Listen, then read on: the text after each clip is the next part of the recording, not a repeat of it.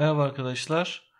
Ee, küçük kurbağa parçasında kaldığımız yerden devam edeceğiz. Bir önceki videomuzda ne yapmıştık? Alberti Bass'ın farklı bir e, yapısıyla parçayı eşliklendirmiştik. Sonra şurayı göstereyim. Ee, ilk videoda, yani dersin ilk videosunda e, burayı ana derecelerle bulup akorlandırmıştık. Sonra bunu buraya kopyaladık. Ee, ne demiştik? Ee, şuradaki fare sesinden dolayı re hala çok güzel geliyor. Biz buraya ne yapabiliriz? İşte ikincil dominant şeklinde burayı düşünmüştük. Ee, daha sonradan da tekrar ana tonumuzda bitirip e, buradan dominant alıp buradan toniğe geçip yani 5'ten 1'e geçip e, bu işi renklendirmiştik biraz. Bunu şu an sadece sözel olarak ifade ettim. E, daha iyi şu yapıyı anlayabilmek için bir önceki e, videoyu detaylı bir şekilde izleyebilirsiniz. Şimdi bu çalışmamızda da e, kaldığımız yerden son olarak bu parçaya bir eşliklendirme modeli yapacağız arkadaşlar. Bu kaldığımız yer derken buradan bahsediyorum. Çünkü artık biraz renklendirmiştik parçayı. Ne yapabiliriz diye bir göreceğiz. Evet. Ezgimi aldım. Tekrar kopyaladım buraya. Sonra ikinci satırını aldım. Kopyaladım. Arkadaşlar bunları hali hazırda çalmak e, kolay olur. Yani önünüzde nota olsa hemen çalarsınız. Sıkıntı yok ama e, benim burada derdim ben bu işlerle çok uğraşıyorum, seviyorum. Bir nebze de olsa sizlere faydalı olabilmek. Eee çünkü bu işe meraklı arkadaşlarımız da var. Bununla ilgili bana çok yoğun talep e, gelmektedir. O şekilde e, böyle bir tasarımda bulundum. Şimdi benim buraya e, biraz oktavlı bir şey yapmak istiyorum aslında. Biraz daha dolu dolu gelsin diye. Yine parçanın melodik yapısına uygun olarak. Dediğim gibi bu renkleri herkes farklı kullanabilir ama Dediğim gibi önce bizim ana şablonu bulmamız lazım. Ben şu an bu şablon üzerinden yürüyeceğim. Başka bir şablon üzerinden yürümeyeceğim. En son bu renkte kalmıştım. Bu renk üzerinden gideceğim ama biraz da oktavlı olsun isteyeceğim. Bu Yaşasın Okulumuz parçasında da yapmıştık buna benzer bir şey. Ama bu farklı olacak. Dediğim gibi yani oktavın da yüzlerce çeşitleri var. Kullanım şekilleri var. Oktavları Alberti bas şekilde, bileyim işte vals tartımı şekilde, akor şeklinde her türlü şekilde kullanabiliyoruz. Şimdi benim düşündüğüm e, oktav yapısı için benim bu ezgimin bir oktav yukarıda olması lazım. Evet şöyle aldım. Takip ederseniz böyle en azından bakın up yani yukarı oktav bir oktav yukarı. Ben burayı eğer ben bir örnek olarak göstereyim. 3 ee, yaparsam 3. yaparsam bakın şuradaki fa'yı görüyor musunuz? Bu fa la olacak şimdi. Evet yani melodinin yazıldığı yeri değiştirdim. Ama ben öyle istemiyorum. Kaldığım yerden devam edeyim. Ee, normalde bu ezgim neydi? Sol, e, fa, re, re'ydi. Ne yapacağız? Bunu benim fa'ya götürmem için la'dan fa'ya 6. Deneyelim bakalım. Bu sefer üçlü gittim. Ee, bir de altılı gideyim. Bakın oldu şimdi. Fa re re re fa re re re fa sol fa re mi do. Şimdi oldu. Eşlik kaçıncıdaydık biz? Eşlik 4. O zaman bu ne oluyor? Eşlik 5. Evet. Eşlik 5 diye yazdı. Bakın bir oktav yapısını kullanacağız şimdi buraya. Oktav dediğimiz şeyler nedir arkadaşlar? Mesela şu bir oktav. Oktav ses. Mesela bu nedir? Bu bir oktav ses. Gördünüz mü? Bu bir oktav ses. Temel sesi kullanıyorum. Yani do mi soli kullanmıyorum da temel sesi kullanıyorum. Önce bir basit olarak bir göstereyim. Buraya gelince ne olmuştu? La, do, mi. Yani benim oktavım ne? La. La'ya geldim. Arkadaşlar. Sonra re'ye geldim. Değil mi? Re minöre gelmiştim orada. Pardon burası da la olacak.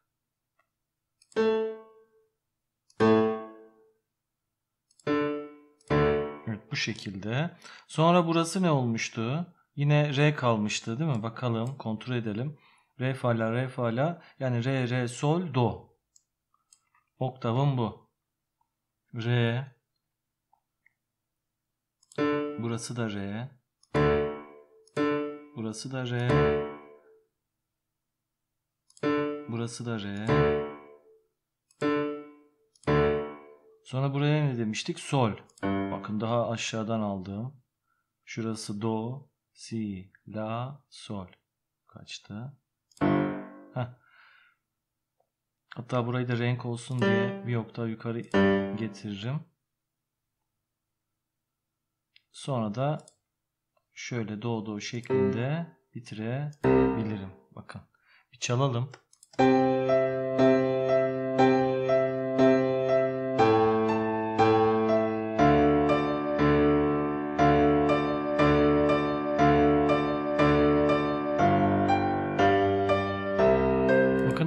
Güzel oldu. Ama şimdi çalarken aklıma geldi. Evet bu düzenlemecilik, bestecilik böyle bir şey. Şimdi şurada la do mi var. Ben burada la la kullandım ama şeyi duymadım. E, adı ne onun? Do diyezi duymadım. Bakın ne yapacağım şimdi.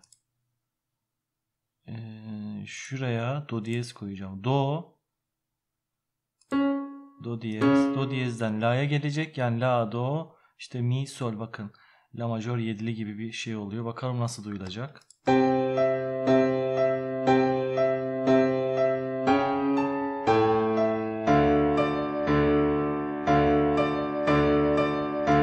Bakın ne kadar güzel oldu. Yani bunu değiştirebiliriz de. Burayı bakın ne yapacağım. Şimdi burada re fa la var ya normalde. Nereden biliyoruz? Bakın burada re fa la var. Oktavla oynuyorum. Bunlar size biraz fikir olsun diye yapıyorum. Bakın.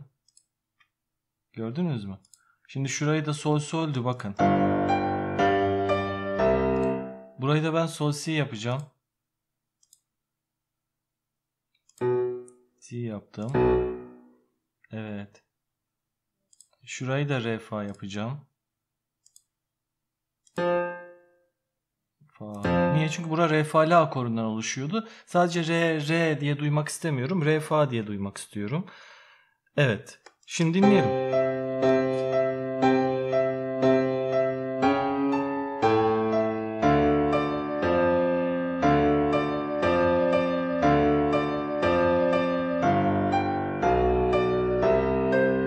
Bakın değişik bir eşlik oldu. Ne kadar farklı. Yani şundan da farklı, ondan da farklı. Bakın şu sadece akor.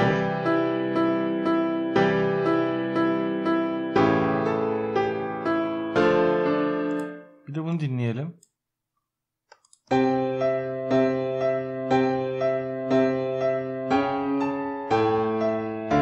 Bakın bir eşlik modeli parçanın kimliğini nasıl değiştiriyor? Çok güzel. Şimdi oktavları tanıttım mı size tanıttım. Ee, akor dereceleriyle aynı kullandım. Yani şu yapıda kullandığım akor derecelerinin aynısını kullandım. Şöyle düşünelim arkadaşlar. Ben burada parçanın ana akorlarını bulmuştum. Sonra ona bir ritmik yapı ekledim. Sonra onu Alberti bas haline getirdim. Değil mi? Sonra ana e, dereceleri değiştirip burada yan derece kullanarak ikincil dominant kullandım. Sonra bununla ilgili bir akor çalışması yaptım. Şimdi bu akoru parçalayacağım. Neden önce parçalamadım? Çünkü bir net olarak görmek istedim. Bu şekilde.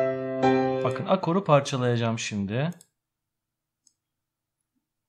Ben yine ezgimi aldım. Aynı şekilde. Bu ezgimi de aldım. Kopyaladım. Haliyle o zaman burası ne oldu? Beşlik 5. Şurası arkadaşlar. Eşlik 6. Evet. Bu küçük kurbağaya da bu eşlik 6 ile bence artık tamam diyelim. Çünkü yaptıkça yeni yeni şeyler buluyoruz. Şimdi do do ve burada do mi sol. Bakın ne yapacağım şimdi. Ritmi biraz hızlandıracağım. Şöyle hızlandıracağım. Sol eli e, hızlandıracağım. Bakalım yapabilecek miyiz? Yine aynı yeri kullanıyorum.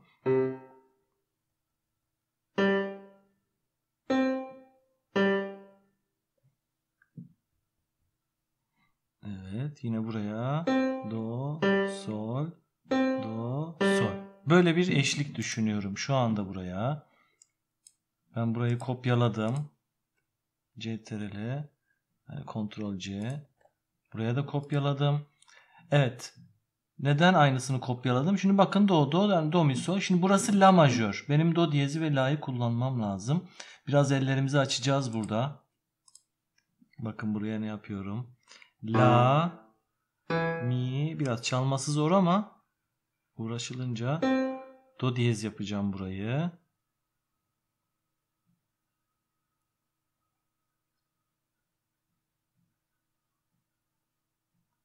Evet. Do mi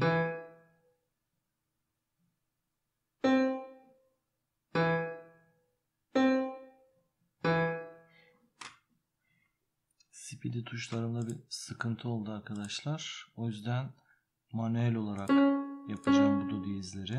Heh. Şurayı şöyle yapabiliriz. Daha geçiş güzel olsun diye bası iki kere verelim la'yı. Şuranın aynısını aldım. Şuraya kopyaladım. Evet. Sonra bakın yine hiç çalmıyorum. Yani sadece ne yaptım? Ana şablonumu bulduktan sonra bu işe devam ettim.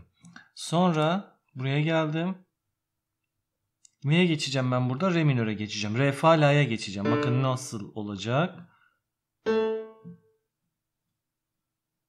Burayı fa mı yapalım, re mi yapalım? Bence re yapalım. Bakın onu neden yaptığımı anlatacağım şimdi.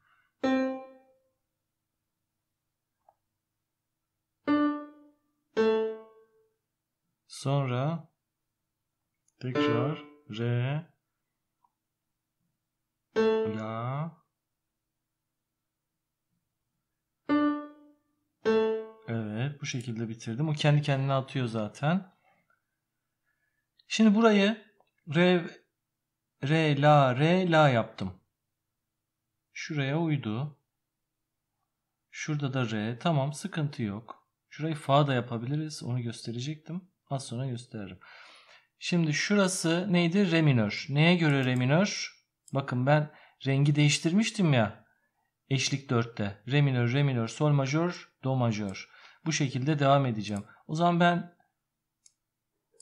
hiçbir oynama yapmadan bu şekilde bunu kopyaladım. Bunu da kopyaladım arkadaşlar. Ben burayı yine 120 yapayım. Görünmüyor çünkü. Heh. Fa sol fa re mi do. Ben fa sol fa re'nin altına ne yazmıştım? Sol majör. Buraya do majör. Hiç oynamıyorum yine. Aşağı iniyorum. Arkadaşlar. Burayı sol re bu sefer e, biraz farklı olsun. C olsun içerisinde. Bakın Alberti basın oktavlarla farklılaştırılmış hali.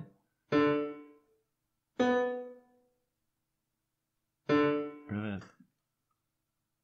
Sonra bitişe geldim.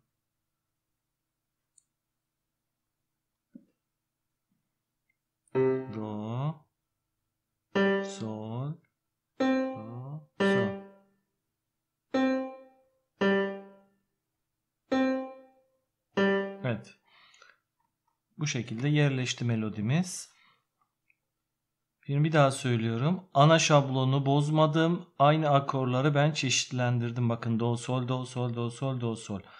İşte do sol do sol do sol do sol. Sonra e, la mi do mi la mi do mi re la e, ondan sonra re la re la re la re la. Şurada re la re la re la re la yazan yerine şunu yapının aynısını kullanabiliriz. Yani re la re la yukarıdan gelip re la re la diye gelebilir. Şimdi onu dinleyeceğiz. İşte burada e, renk devreye giriyor. Bakalım.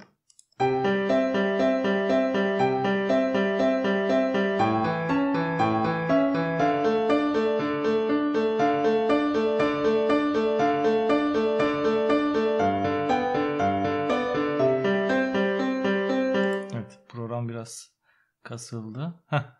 Şimdi şurada benim bir şey hoşuma gitti. R, R yani her zamanda bu basın vurması hoşuma gitti arkadaşlar. Evet bunu alıyorum. Pardon.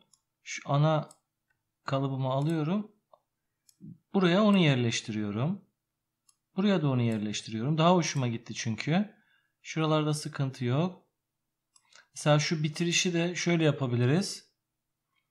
Burayı silip arkadaşlar şunu sildim, şunu sildim.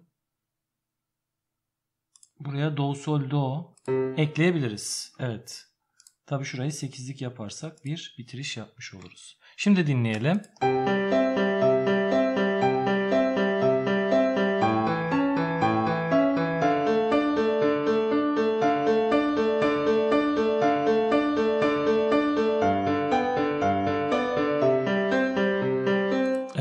Arkadaşlar şimdi şurada bir renk e, olacaktı onu söylemiştim bakın.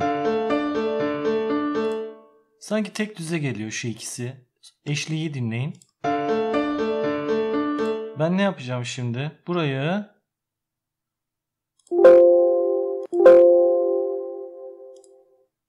altılık yapmamız lazım. Hı. Burayı sildim. Bakın şimdi iyi dinleyin. Gördünüz mü? Şimdi bu yapının aynısını yani hiç başka bir şey oynamadım. Re fa la seslerini kullandım. Sadece pozisyonlarını, yerlerini değiştirdim. Bakın bura bu şekilde giderken bir böyle bir böyle gitti. Şimdi dinleyelim.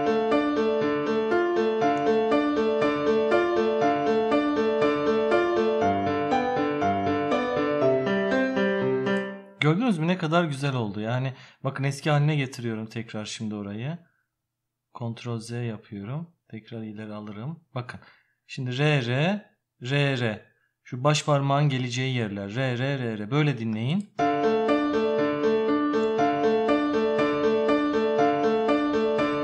Bakın tek düze. Şimdi ileri gidiyorum tekrar.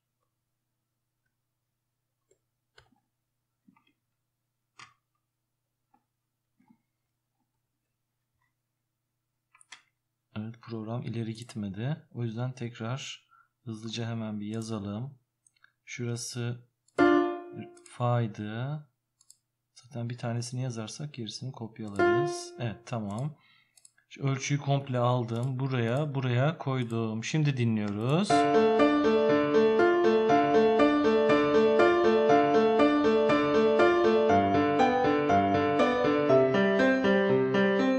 Gördünüz mü ne kadar güzel oldu. Bakın Tekrar söylüyorum. Burada ana şablonumuzu bulduk. Bir renk yapmıştık. Sonra o rengi akorlaştırdık. Akor e, pardon, akor haldeydi aşağıda. E, oktavlaştırdık. Şimdi buradan e, şuraya kadar çalıyorum arkadaşlar. Aradaki geçişi hatta şuradan gelelim. Dinleyelim. Bakın renk değişti buradan. Parça nasıl bir e, üç farklı modda değişiklik gösteriyor bir görelim. Şimdi La majör, Re minör. Tekrar Re minör. Tekrar Re minör. Sol majör. Bakın değişiyor şimdi.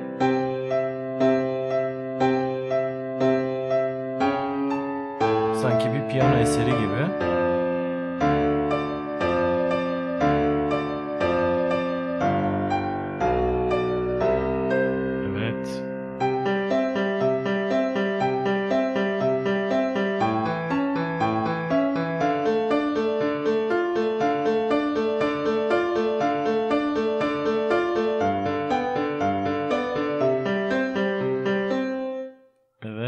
Arkadaşlar. Bakın böyle çok güzel oldu. Şimdi şuraya son bir tekrar yapalım. Do mi sol üzerinden yapacağım. Do mi solü bu şekilde kullanıyoruz mesela bir ezgiye. Ondan sonra yan yana akor şeklinde böyle kullanabiliriz. Evet ezgimize göre.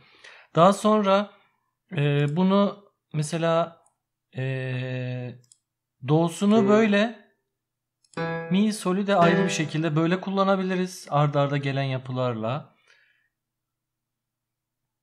Daha sonra bunu Alberti bas olarak kullanabiliriz. Do sol mi sol. Ee, bu sonra yine şöyle olabilir. Yani ard arda do mi sol mi do mi sol mi geldiğini düşünün. Böyle olabilir. Ondan sonra başka ne yaptık? Ee, do mi solü biz şöyle yapabiliriz arkadaşlar. Daha koyu duyulsun diye. Oktav şeklinde yapabiliriz. Ya da mesela oktav yaptık ya. Do, e, mi, sol, do'yu ayırırız. Si oldu. Ayırdık böyle.